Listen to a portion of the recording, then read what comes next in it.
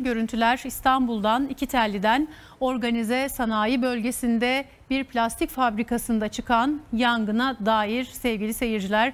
O plastik fabrikasında bu yangın neden çıktı, ne kadar büyüklükte bir yangın, ne kadar büyüklükte bir bölgeyi etkiliyor, bir sıçrama ihtimali var mı etrafındaki e, fabrikalara veya e, oradaki iş yerlerine? Elbette görüntülerden bunu çok e, anlayamıyoruz. Elimize gelen görüntüler üzerinden sizlerle paylaşıyoruz bilgileri.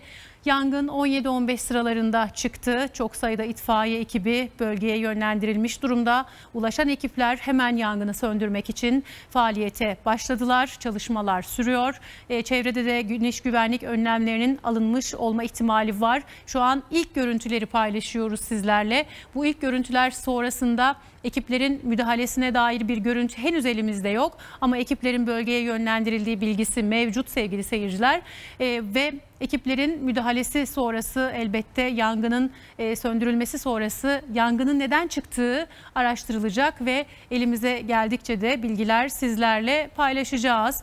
Bir kere daha o görüntüler üzerinden elimizdeki bilgileri paylaşalım. E, yükselen dumanları gördüğümüzde yangının büyük olduğunu tahmin ediyoruz elbette. Henüz e, netleşmiş bilgiler yok. Yangının alevlerini de bir yandan arkadaşlarım ekranlara getiriyorlar sevgili seyirciler. E, burası bir organize sanayi bölgesi. Organize sanayi bölgesi İstanbul'un iki telli e, mevkiinde. İki tellideki organize sanayi bölgesinde bir plastik fabrikasında bu yangın çıktı. E, elbette çevresinde nasıl bir oluşum var, nasıl bir yapılaşma var, fabrikanın büyüklüğü nedir, orada çalışan işçiler şu an mevcut mu veya içeride biri var mıydı dileğimiz olmaması, kimseye zarar gelmemesi, yangını söndürmek için de e, çalışmalar sürüyor. Bütün bu soru işaretleri cevap bulacaktır. E, yaklaşan e, dakikalar içerisinde sevgili seyirciler yetkililerden bilgi geldikçe de sizlerle paylaşacağız.